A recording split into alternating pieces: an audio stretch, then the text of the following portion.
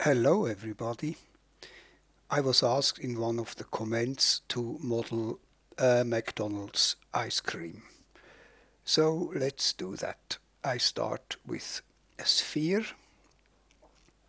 with 16 sides and 12 segments and control left click make it 30 by 30 millimeters in all the dimensions and put it in the middle. Go out of sub-D mode and in polygon mode select the top and delete it and select the bottom three rows and delete those as well. Now I think we can extend the top edge a bit. So Z key bring it to about here. Then select the bottom, Z key again, and bring it down maybe minus 40 millimeters.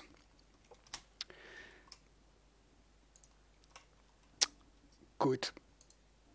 And center everything again here in the middle. Next, I thicken this. polygon thicken by minus one millimeter. We don't need these here, so delete, we won't see them. And then I go to a new mesh, front view,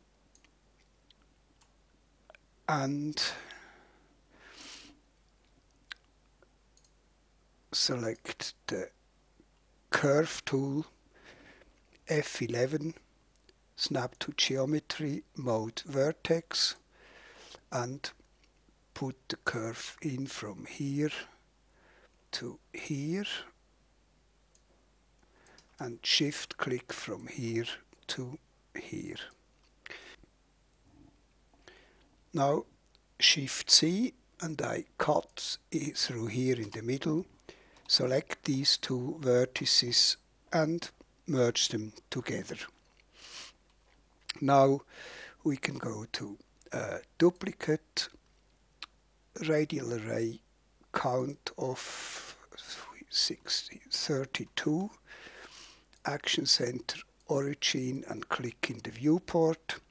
In vertex mode I select the top vertices, control P to make a closed loop. Select the bottom vertices, Control P, and make another closed loop. Then in the mesh properties, I click render curves and make this 0.6 millimeters. We can always adjust this later. Now let's go back to our other mesh and then in edge mode I select this edge and these edges and B for bevel with a round level of 1 and bevel this out by maybe 0.5 millimeters, something like this. Um, if I subdivide this, then it shrinks. You see it when you look at the background mesh. So we have to enlarge this a bit, R key by about 104%. I tried this before. And then in this mesh here, we have to select the middle vertices, these here, R key again, I make these about 102% to compensate for the fact that we are going diagonally along a bent surface.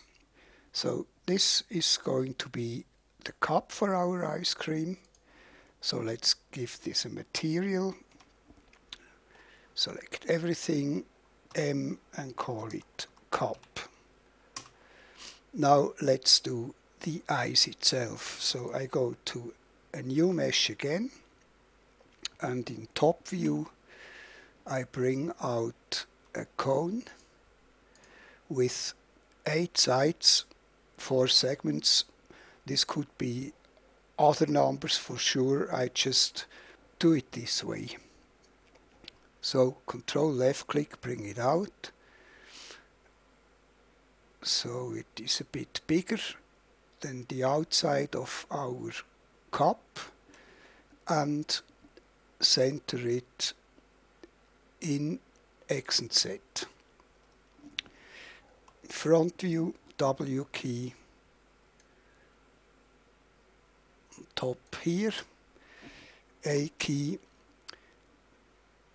And um, top view again then I go to deform twist but the fall off must also be on the Y. And twist this by minus 120 yeah why not? Front view again. Now I select two edges in here up arrow key L for loop and before I continue I want to shift C cut through the top here maybe a bit further down like so and delete this. Back to edge mode. Now we can expand this to the top. And B for bevel. No no too early. We need a fall off linear from here to here. And linear yes. Now we can do the bevel. Otherwise we would have uh, crossed the edges on top here so bevel this till it is about like this, then we can unfortunately not directly convert this selection to uh, polygons. It would uh, select everything. This is a bug in Modo 701, but what we can do is we can first go to uh, convert to vertices and now we can convert it to polygons. Good. Top view again. R key. Let's scale this out to about so. Yes, okay, good. Then I select these edges and these edges top view again no bevel and bevel it to about here then I select these two edges and top view R key. And bring them out like so. And this middle one R key. Bring it out also a bit. For the time being I call this an ice cream. Like so which has uh, one important feature missing up here so P for polygon polygon mode and make it spiky. Then vertex mode, select this middle vertex here, W key and bring it up to about here. Then Shift C, cut through here, mm, maybe easier, and through here.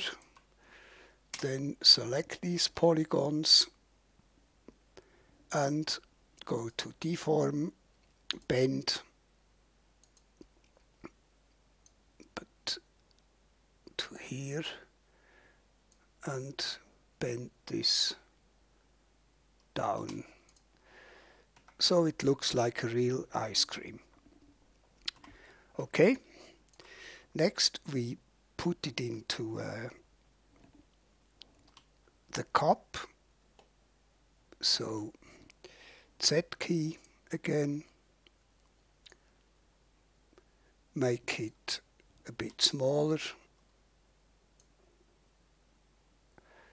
Z key again. Now, first I go to Shift F5 and run the perfect circle script from Seneca Menard.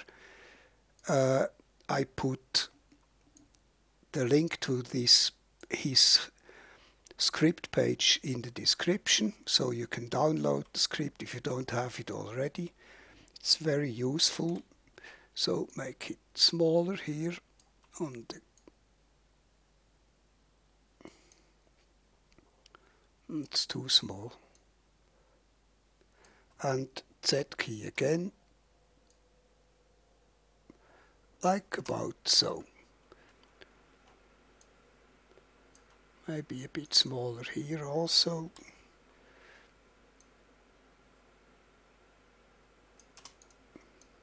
Like so. Good. Now we need to give all these things uh, some material so I select this is mesh 3 I select 2 here 2 here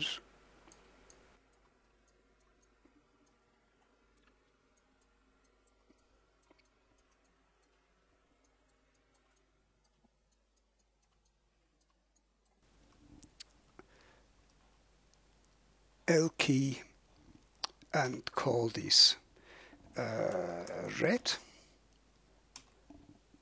Hide M key again, call this white. Unhide. Now we can uh, put in a plane. So shift click this symbol, W key, and bring it down to here M key again call it plane and R key make it a lot bigger a hundred times so 10 1 2 3 and now we can go to the render tab and find out what we have got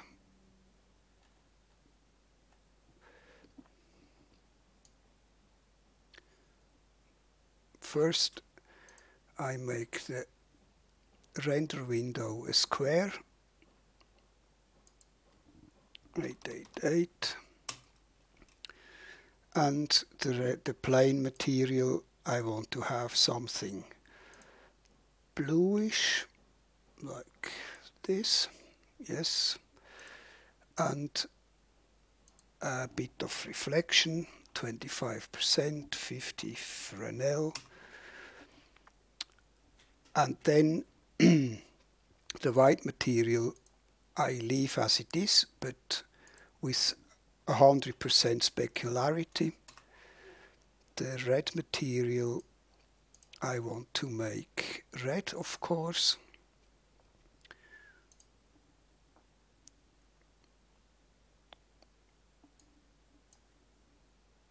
Ah wrong one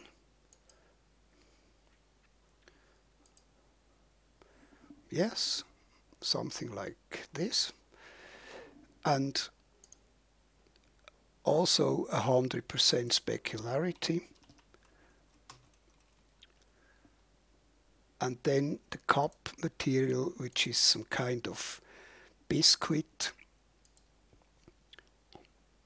something like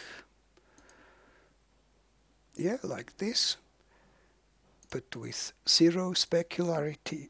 It is biscuit which does not reflect.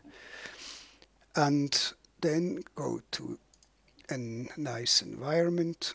This one which should be reflected on the bottom plane also. Yeah, looks good. Maybe a bit closer here.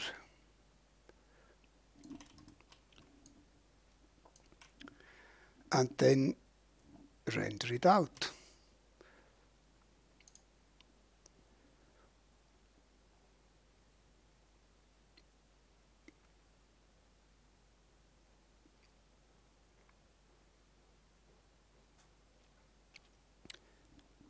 So here is our ice cream. I hope uh, you liked it. It looks uh, pretty cool, I think. Thanks for watching. Take care and have fun modeling with Modo. See you some other time. Bye bye.